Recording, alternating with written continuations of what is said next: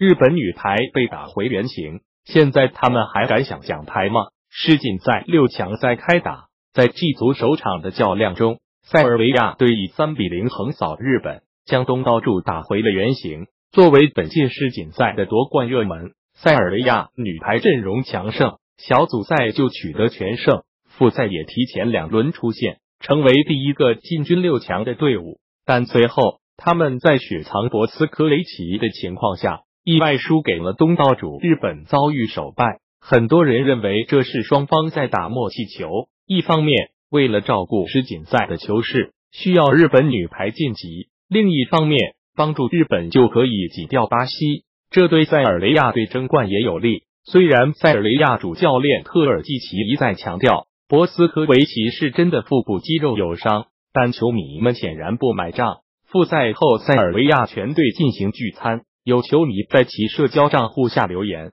这就是你们从来拿不到任何冠军的原因。但日本媒体似乎有些不知天高地厚，他们选择性无视塞尔维亚放水的事实，而是称日本女排凭借霸气打进了六强。十三日的六队赛前联席会上，甚至有日本记者提问郎导对中日两队可能在四强甚至决赛相遇怎么看？郎岛只好顺水推舟的把日本队和中田久美赞扬了一番。结果。昨晚的比赛，博斯科维奇回归的塞尔维亚没给日本任何机会，三比零将其横扫。尤其是米哈伊洛维奇和博斯科维奇两门大炮轮番开火，日本球员只能满场救球。塞尔维亚队证明了自己的强大实力，同时也尴尬的证明了自己几天前消极的比赛态度。赛后，特尔季奇骄傲的表示：“我们以为会打满五局，没想到三比零取胜了。”我们已经接近半决赛，我们将在那里展示我们最好的水平。日本主教练中田久美则说：“我们的目标是赢得奖牌，可是面塞尔维亚这样的强队，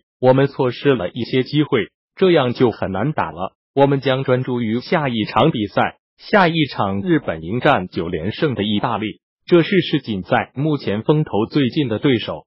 刚被米哈伊洛维奇和博斯科维奇轰炸的日本防线。”又要迎来埃格努和希拉的暴击，现在他们还敢想奖牌吗？